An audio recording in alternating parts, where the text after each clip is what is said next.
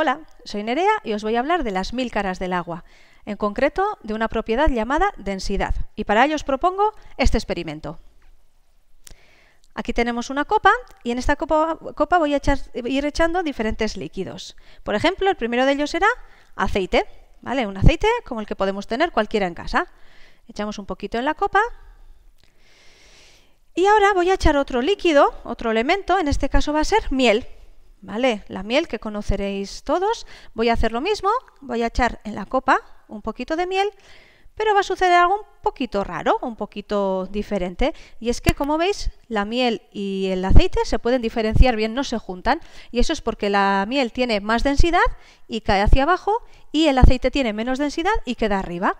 Vamos a repetir esto con otro líquido, en este caso gel de ducha. ¿Vale? El jabón que utilizáis en la ducha para limpiaros. Vamos a echar en este vasito gel de ducha. ¿Vale? ¿Y qué pasa ahora? Pues lo que ha pasado antes. Tenemos tres líquidos, tenemos primero eh, miel, luego jabón y luego aceite, no se han mezclado. Y lo mismo con el agua.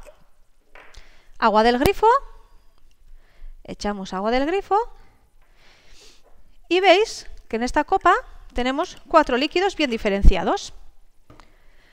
Esto sucede porque los cuatro líquidos tienen diferente densidad. No se ha mezclado ni se van a mezclar.